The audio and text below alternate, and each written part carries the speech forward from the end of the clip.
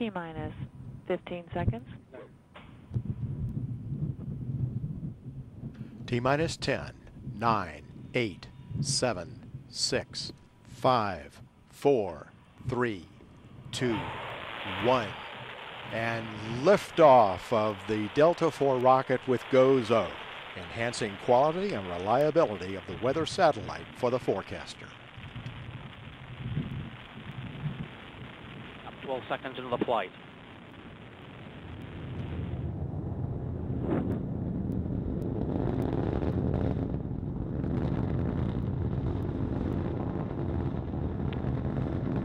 Twenty-six seconds in.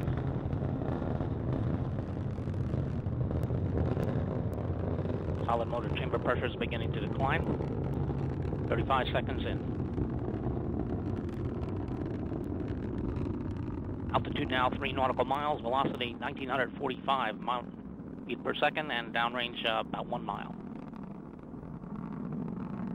50 seconds. Passing Mach 1, vehicle now going transonic. Now passing 1 minute into the flight. Now hitting max Q, maximum dynamic pressure in the vehicle.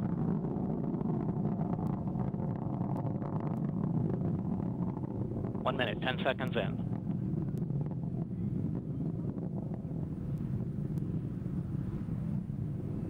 Second stage systems now coming online.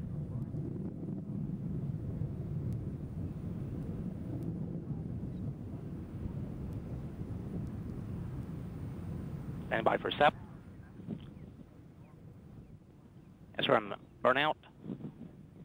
Standing by for separation. And we have separation, separation of solid motors one and two.